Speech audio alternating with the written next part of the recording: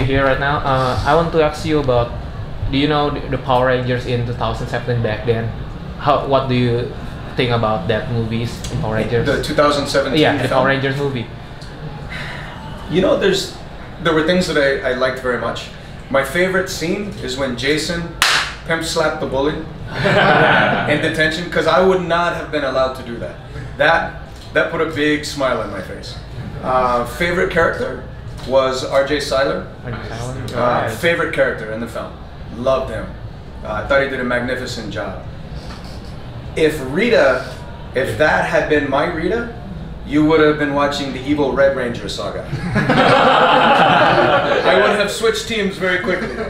Um, I, so I thought Rita was beautiful. Goldar, I thought he looked magnificent, but there was no voice.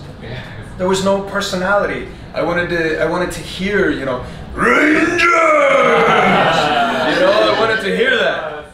Um, the fights. I wanted. I wanted to see more of the fights with no mask. You know, it's, it should be. Jason should be fighting ten guys all at the same time. You know. It's just everywhere, always fighting. And then, you know, then we call, you know, Rita makes the monster grow, and then we get into the Zords. And I, so I would like to have seen more fights. I thought the helmets were up the whole time. Why do you put on a helmet if it's up? this is, there's no secret. Everybody knows you're the Power Rangers now. Do you know what I mean? Yeah, yeah. So uh, I thought that was weird. The okay, the Mega uh, Mastodon. Yeah. Mastodon. We all know Mastodon has four legs. Yeah? It has tusks, it has a big trunk.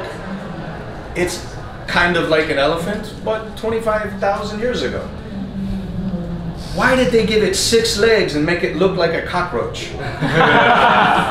wasn't the cockroach ranger, it was the mastodon. So that kind of made me crazy. Um, yeah, that's what I think. Oh, I love Zordon. I love the pre-story.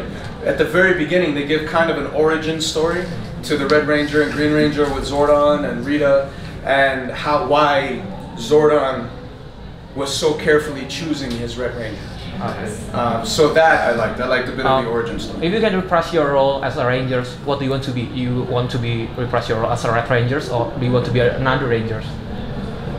Well, I have the red, I have the gold. Now, Boom Comics is writing me in as the Omega Ranger.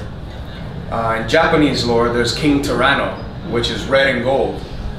I would love to see King Tyranno. I would love to see the Omega, but at the heart of who Jason is, he's always first and forever the Red Ranger. He's always first humble. He's always first for his team. He doesn't need the big fancy toys or the, the shiny gold steel or, or shields or things like that. Jason is a humble leader. He is a man who will not step forward until he absolutely has to. This is why when Jason was on TV, he was always very calm until it was time to fight. Then, it's morphin' time! you know what I mean? Yeah. So very different. Um, but until that moment, Jason very calm, always for the team. Let things happen. Only step in when he has to, um, and that holds true to my martial arts tradition. I don't need to beat people up to prove to the world I can fight. Let somebody attack me and find out the hard way. Another question? Yeah.